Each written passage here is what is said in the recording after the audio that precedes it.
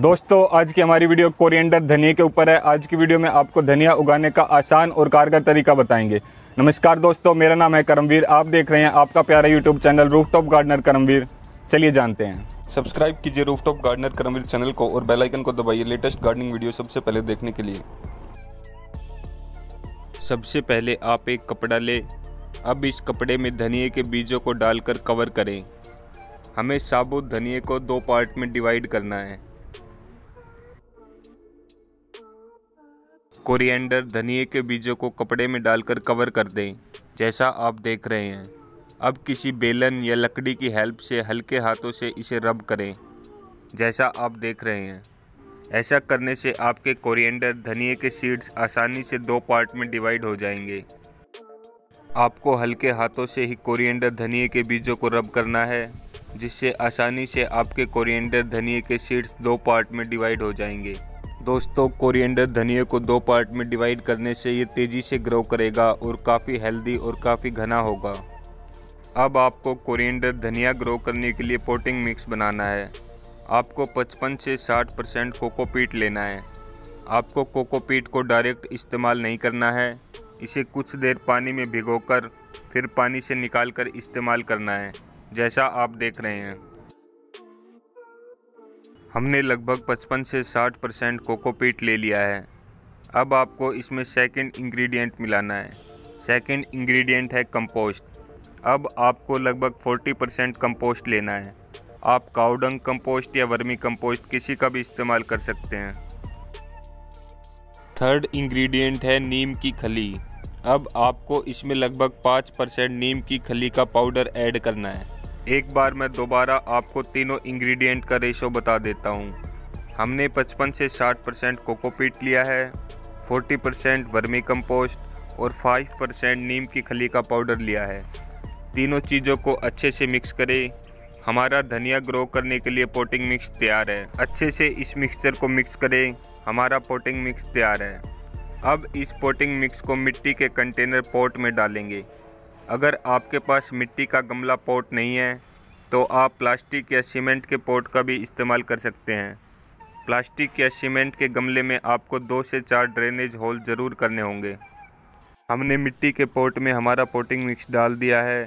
अब इसमें कोरिएंडर धनिए के बीज डालेंगे, जैसा आप देख रहे हैं। दोस्तों, धनिया ग्रो करने के लिए आप जितना चौड़ा गमला लेंगे, उतने अच्छे से आपका धनिया ग्रो करेगा। बीजों को फैला फैला कर डालें, एक जगह सभी बीजों को ना डालें। अब इन बीजों को हल्के सोयल मिक्स से कवर करेंगे। बीज की मोटाई से दो गुना सोयल मिक्स से इसे कवर करें।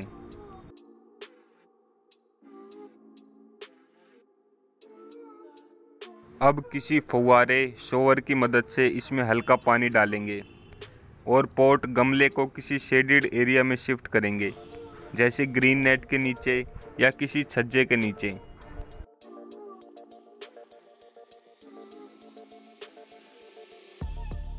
अब आपको इसका रिज़ल्ट अपडेट दिखाते हैं।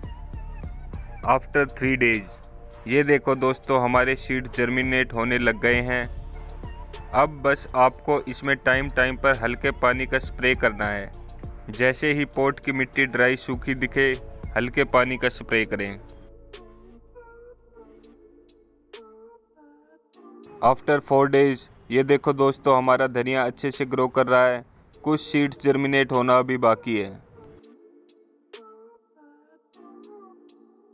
आफ्टर फाइव डेज़ हमारे लगभग 90 परसेंट सीड जर्मिनेट हो चुके हैं। आफ्टर सिक्स डेज़ हमारा कोरिएंडर धनिया अच्छे से ग्रो हो रहा है। बस आपको टाइम टाइम पर मिट्टी सूखने पर हल्के पानी का स्प्रे करना है।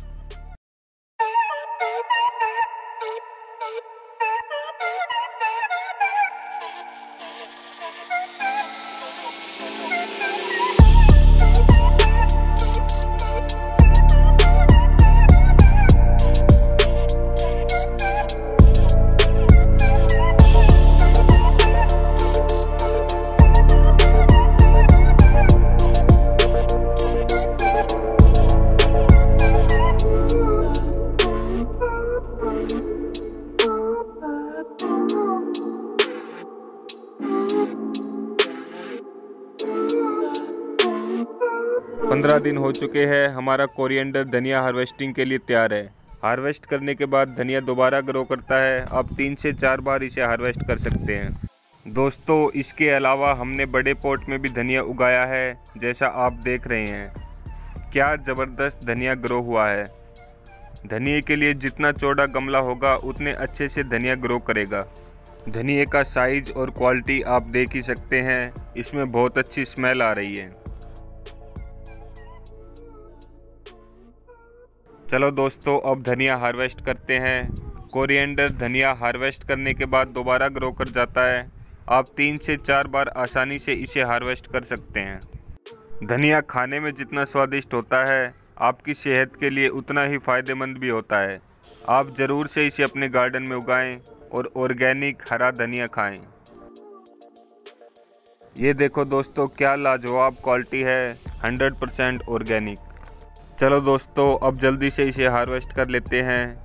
धनिए को शुष्क और ठंडी जलवायु पसंद होती है। आप इसे सर्दी के मौसम में उगाएँ। सर्दी के मौसम में धनिया आसानी से ग्रो हो जाता है। दोस्तों, हमने बड़े पोट में लगे धनिए को हार्वेस्ट कर लिया है।